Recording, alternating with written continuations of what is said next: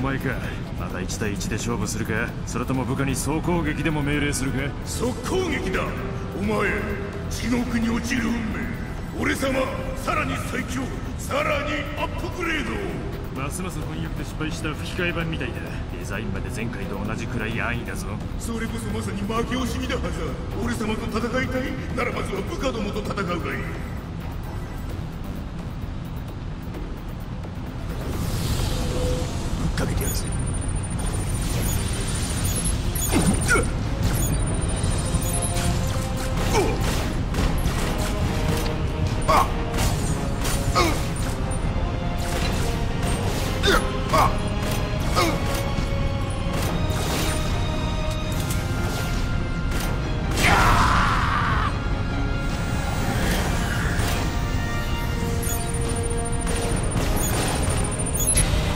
超ハザードだ。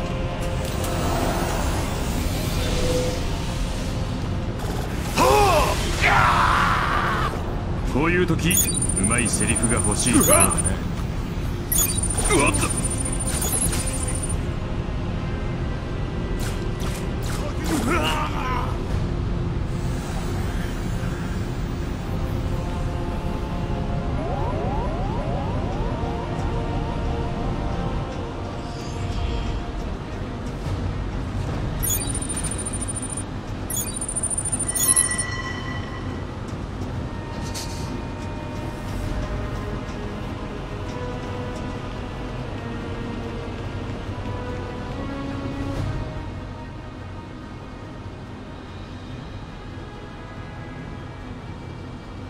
暗闇怖いか？ハザード。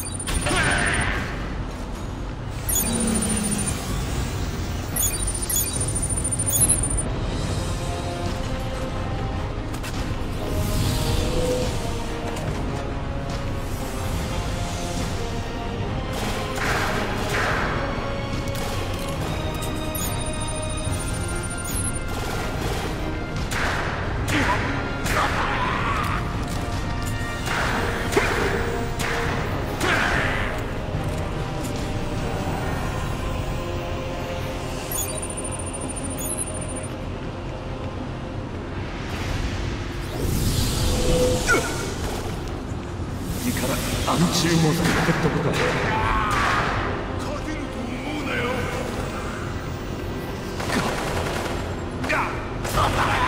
俺がヒーローだお前の夢姿は楽しいぞ。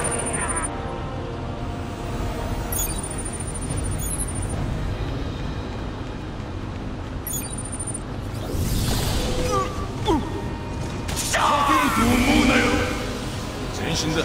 前がどっちかわからんがかかってこい。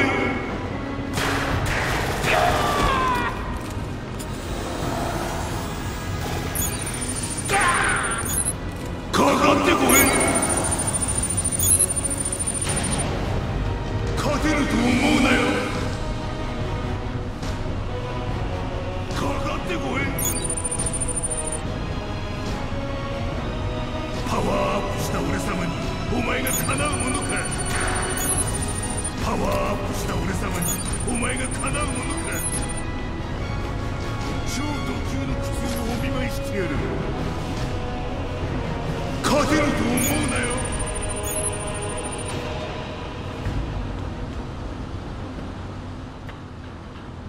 ありえない。奴は時代遅れ。奴は貧弱。奴は落ち目。なのに奴は前に比べればまだ今風なスコープ野郎。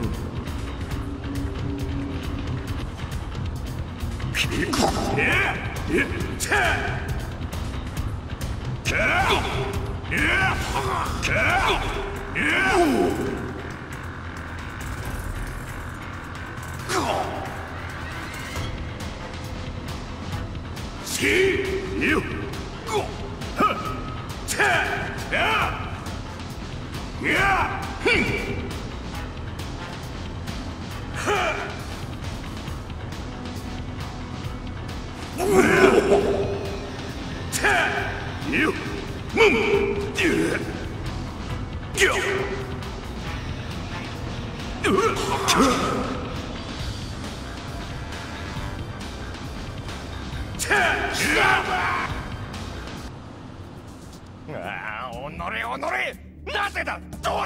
社長落ち着いてください。ストレスは極力避けるようにとセラピストの先生が。落ち着けだと何もかも全てが崩壊しつつあるのだぞ。でも会社の状況は全く問題ありませんが。なのにしっかりしろバカ者。会社のことではない。私が言ってるのはこっちの話だマットハザードの息の根を止めるため。次世代アクションヒーローを2回もゲームに送り込んだのに2回ともあっという間にクリア。お言葉ですがどうして彼を殺さないといけないのですか？前の経営陣がゲームヒーロー組合と障害契約を交わさせたと聞いておりますが。つまりクビにもできんし奴も退職できない。奴がゲーム中で死なない限り契約解除は不可能なのだ。ではゲームに登場させなければどうです？アーカイブに放り込んでしまえば殺す必要もないのでは？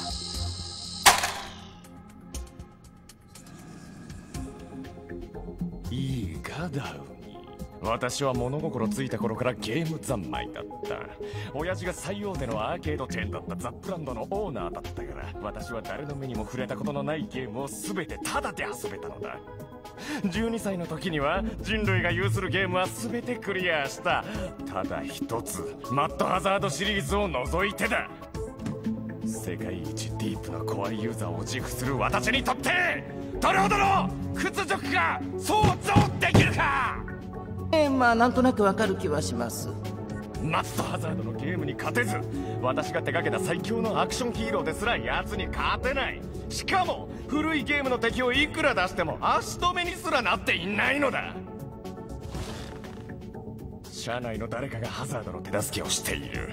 そうとしか説明できない。そいつがコードを解析する間ハザードはゲームを進めて時間稼ぎをしているんだ。そのことに気づいていると知ったら隠れてしまうに違いない。えー今のところハザードは古いキャラ仲間に会うと何としても助けようとしています。他の仲間をおとりとしてステージ内に出してみては。ダウニー素晴らしい作戦だ。君のようなアイディアマンがいるからこそ私は史上最強のゲーム会社の社長でいられるのだ。権利は会社の独占ですがダウニー古いゲームの敵でハザードを足止めし続けるようプログラマーたちに指示を出せ。罠を仕掛ける時間を稼いでもらう。はい社長。さておとりの方だがハザードが確実に助けに行くような人物そして逃げようのない罠とは？